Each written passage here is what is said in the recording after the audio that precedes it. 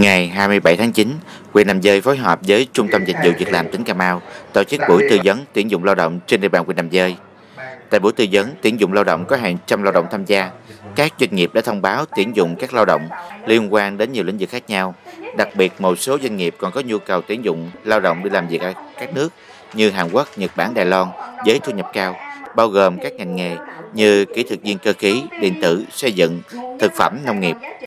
Bên cạnh đó, các doanh nghiệp còn tư vấn cung cấp thông tin thị trường lao động về việc làm, học nghề, xuất khẩu lao động, tư vấn kỹ năng tìm việc làm, kỹ năng phỏng vấn thành công. Doanh nghiệp phỏng vấn tuyển dụng, tuyển sinh, xuất khẩu lao động, phỏng vấn trực tuyến. Qua đó giúp người lao động định hướng được công việc và nhu cầu thích hợp với khả năng cũng như điều kiện cá nhân của mình. Đây là cơ hội tốt giúp người lao động trên địa bàn huyện nắm bắt được thông tin thị trường lao động hiện nay. Người lao động được tiếp cận kịp thời các thông tin tuyển dụng và nhanh chóng tìm được việc làm phù hợp có thu nhập và ổn định cuộc sống, góp phần thực hiện tốt công tác phát triển kinh tế, mang đến cho người lao động ngày càng có đời sống ổn định, phát triển kinh tế xã hội tại địa phương.